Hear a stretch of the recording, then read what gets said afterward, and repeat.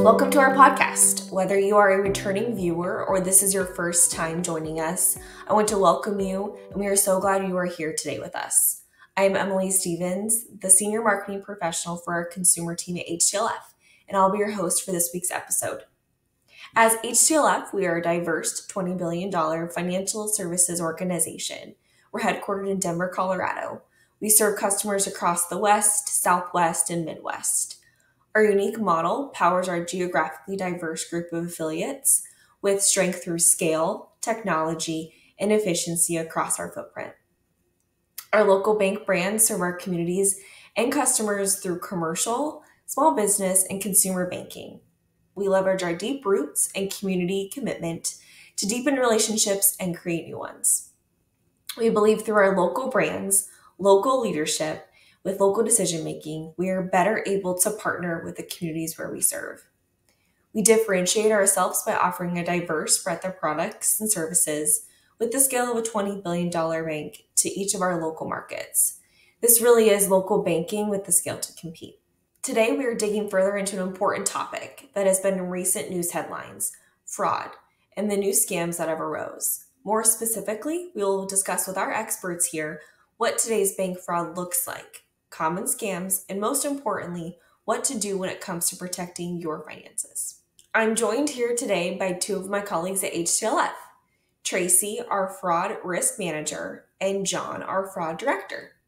Hello, team. Please introduce yourselves and give us a little bit more detail about you. Great. Thank you, Emily. So, my name is Tracy. I'm the fraud risk manager for HTLF, which means uh, I work very closely with our team and with our other departments to shore up any procedural gaps, look for trends that are occurring out in the US, and what we can do to protect our bank and our customers when that same scam comes knocking on our door. Uh, we work very closely with our marketing marketing team on getting customer communications out, articles, cool podcasts like this and webinars, uh, which, uh, you know, anytime we have an opportunity to get in front of our customers to talk about consumer scams, business frauds, etc., we uh, definitely want to be able to do that to help out as much as we can. Great. Thanks, Tracy. John, what about you? Tell us a little bit more about you and your role. Sure. Thank you for having us again, Emily. Look, uh, look forward to have a great conversation today. Uh, I am the fraud director for HTLF.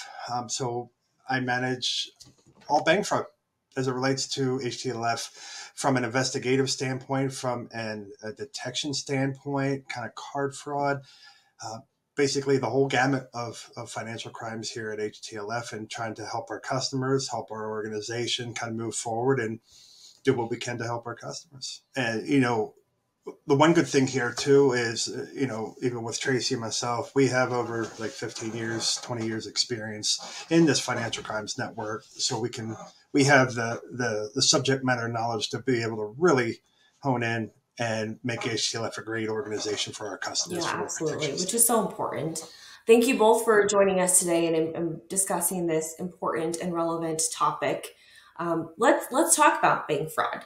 And in this age where technology and digital conveniences have come so far, so have scammers, unfortunately. So they're more elusive than ever. Um, it's important we recognize the red flags associated with that. So, John, let's start with you. What's what's bank fraud? And Tracy, you can tap in here too. And, and what are those red flags we should be looking out for?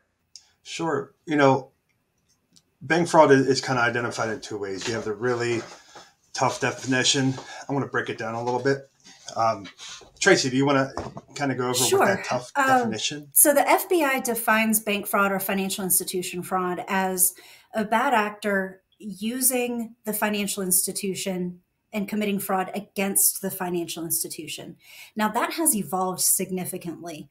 Now we have uh, many more kinds of schemes running the gamut of consumer fraud, business fraud, we also do still have those instances where somebody is committing first party fraud against the bank.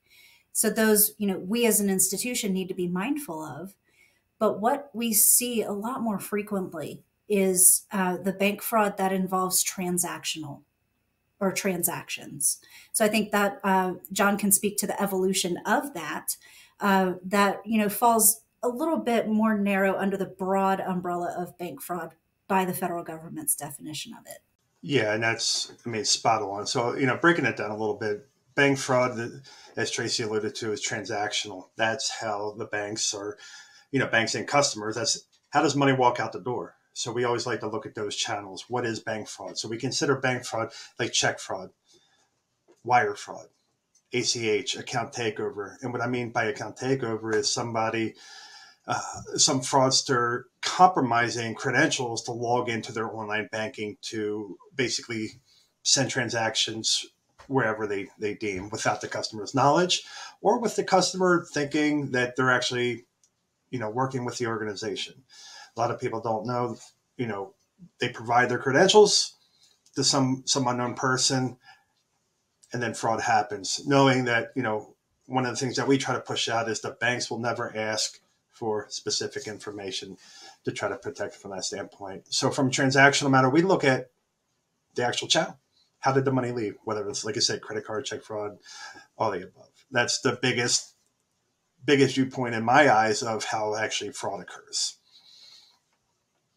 Including elder exploitation. That's that's a huge, huge you know concept with with bank fraud as well. Just it's you know fraud is fraud, and it's just a matter of what channel that the money w- wants to leave. So the fraudsters can pick one channel, whether it's check fraud, whether it's wire fraud, and then the money can leave. A lot of the schemes are the same. It's just a matter of tr- how can we trick the bank and the customer to get right. let this money walk right. out the door. Do you mind just tapping a little bit more into elder fraud? Um, I know that that's been a hot topic lately. Um, just diving a little bit more in, into that um, specifically and what folks can be on the lookout for when it comes to that. Sure. Um, you know, one of the biggest things today that's a hot topic is phishing. You know, phishing is something that's picking up steam with the cyber cyber component of it. There's a lot of breaches with you know whether it's you know a department store, whether it's a restaurant.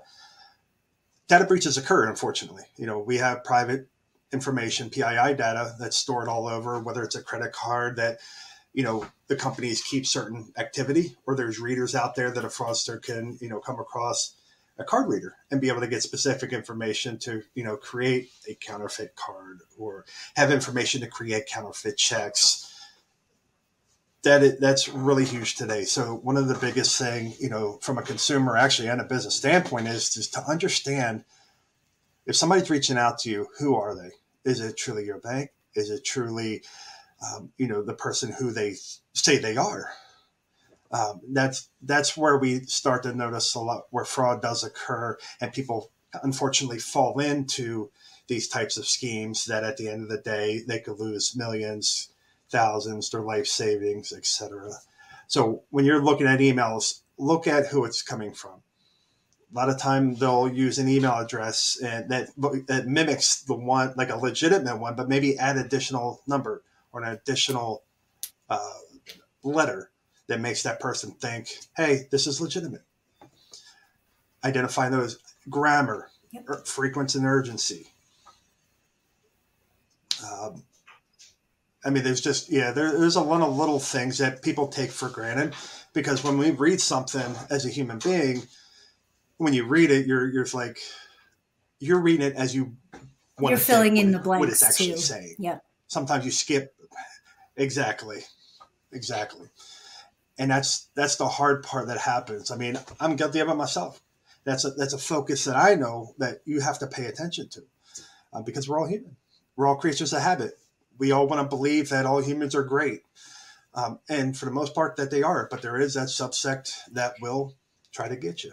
And I think it's generational. One of the things when we train on spotting elder financial exploitation or elder financial abuse, when we're talking to our frontline staff, we look, we tell them to look at activity outside of the normal pattern.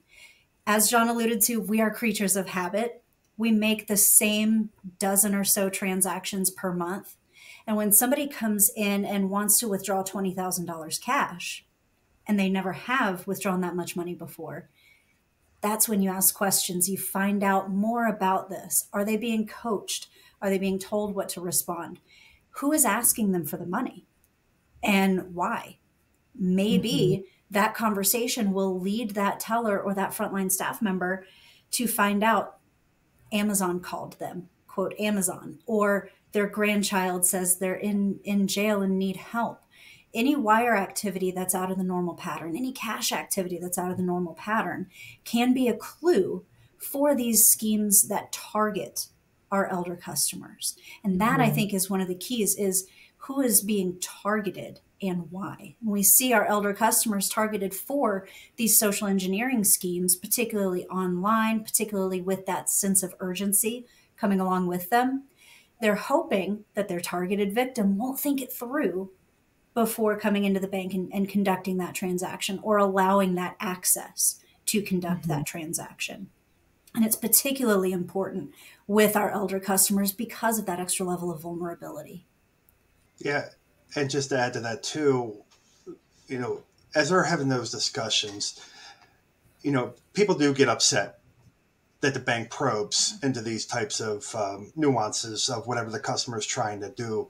And one of the things that I'd want to point out there is we're not doing it because we're being nosy. We're doing it for a multitude of reasons. One of the biggest one is to try to help the customer and identify what actually would happen. So it could be legit, you know, but we're asking questions to try to prevent the customer mm-hmm. from having any losses or having, you know, fraud on their account, et cetera, which, you know, we have to know those things, you know, because a lot of our customers are used to funnel money to another fraudster without realizing it. Right. Um, so, you know, banks are, and not just even H, here at HTLF, overall, that's a re- that's a requirement mm-hmm. that we that we have to do, and it's something that we take serious because we want to help the customer. We do not want to have to go back and try to chase this money down for the customer because in reality, a lot of times when right. that money leaves, it's gone. So it's really important. It's really important to have those discussions to understand and just to have that mentality from a customer perspective that we're not doing this out of out of spite or out of being nosiness or want to know what you're doing. Yeah, absolutely. That's number one priority is protecting our customers and doing what we can for them. So on along the same lines, you know, how can our customers or, you know, those out in the world, how can they protect themselves, stay one step ahead?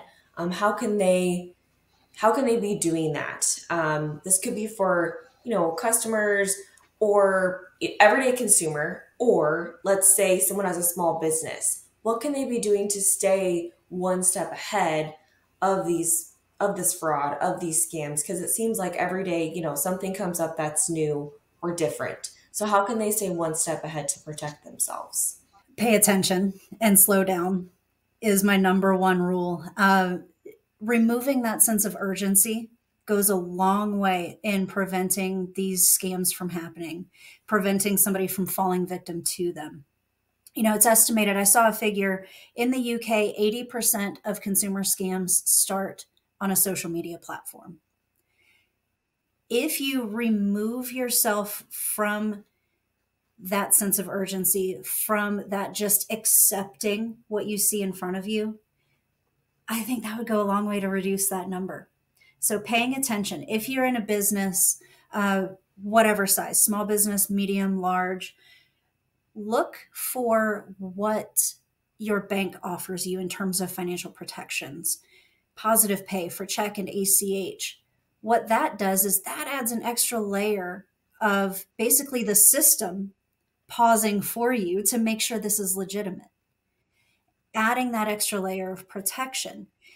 When you, for personal accounts, for example, when you can't have a positive pay type thing on there, regular reconciling of your accounts, make sure you recognize everything.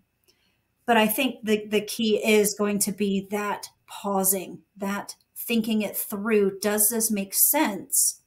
Why is my grandchild calling me from Mexico when I just saw them yesterday and everything was fine, for example?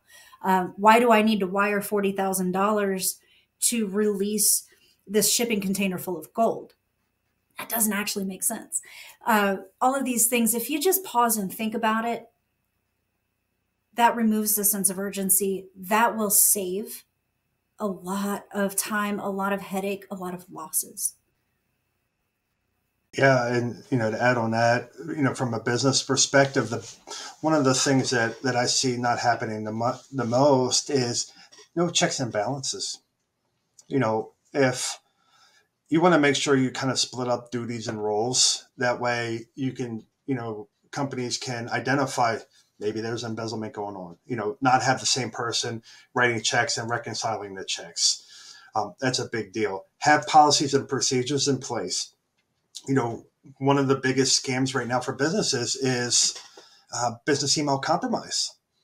So, you know, have those processes and, and, procedures in place where if you're paying something, make sure you speak to the person who actually sent you the invoice or speaking to, you know, your cohorts that you receive an email to send, you know, requesting you to send money, you know, to a vendor or, or another person. Make sure you speak to that person and not just take the email as gold in, gos- in, in the gospel, because a lot of the times that's how fraudsters are getting around this is taking advantage of people that do not pay attention. Um, from the consumer and well actually before i even get to the consumer this goes in for consumer too. You know ftc federal trade commission has a lot of free resources on their website uh, whether it's like little mini books on how to protect yourself you know making sure that you're for businesses that you have your your devices protected from malware identifiers that could be able to detect if somebody you know compromised your email like or even the computer in general. They have lists of, of a variety of scams. I could talk for hours about all the different scams that are out there and what components are similar different etc there's so much information out there on the federal trade commission the fbi uh, sites um, and a lot more sites that I can't even think of right now that actually provide you really good information on really how to protect yourself from a business standpoint and a consumer standpoint. And that's the biggest, I know, thing that we see is the lack of education. And that's why we take it important to add, if we go to an HTLF website, we have a fraud button where this product that we have on our website will actually go through anything you can imagine fraud related. It's a great service that I'm excited to have on our website because it's just it's all informational based. Instead of us, you know, having to write something up or speaking to it. It's something that is updated regularly and it has great up to date knowledge on all fraud. So our customers definitely should take the time to take a look at it because education is is number one. Yes, yes, absolutely. We'll be sure to to link that here in the comments in the description of this podcast. I know sometimes those questions are hard to ask or you know it's it's difficult to bring up you know if you feel like you've been a victim of fraud or maybe you know a little bit weary um, to have those conversations with the bank but yeah just encouragement of of having those open conversations and communication and given whether it be HTLF a call or your local bank partner call, I think that's so important just because this world is ever changing.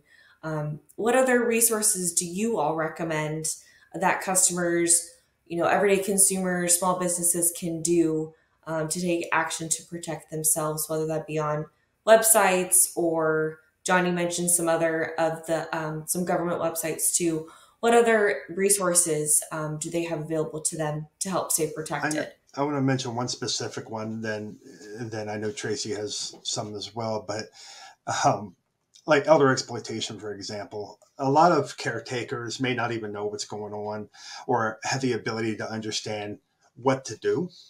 Um, you know, if you're a caretaker, you have specific things that you can do on a, like if you're a power of attorney or something along those lines. But the AARP f- for fraud, they have a lot of webinars. They have a lot of you know written documentation out there that really helps that they can make a phone call in and ask those specific questions on how to protect an elder from financial crime. Uh, they've been growing in that space a lot. That I think it's it's wonderful what they're doing. You know, because when we deal with what we call victims, that's kind of a negative connotation. So what we'd like to do is really, you know, help these individuals really just grow and understand what is happening, and then take their story and teach people about it. That's the mindset with AARP in their in their fraud kind of space. So I wanted to throw that out there as well. Yeah, actually, if I can build on that for a moment, I'm so glad the language is changing uh, from a victim blaming and victim shaming mentality to a more helpful mentality.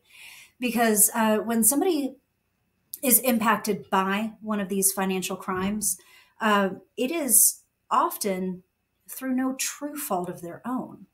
They are manipulated, they are socially engineered, they have uh, maybe limited understanding of the financial world and they're vulnerable because of that many, many things, myriad things go into why somebody would be impacted by a financial crime. AARP is a fantastic resource, and the things they're researching, what they're putting out there on who is targeted, who uh, who gets what kind of phone calls.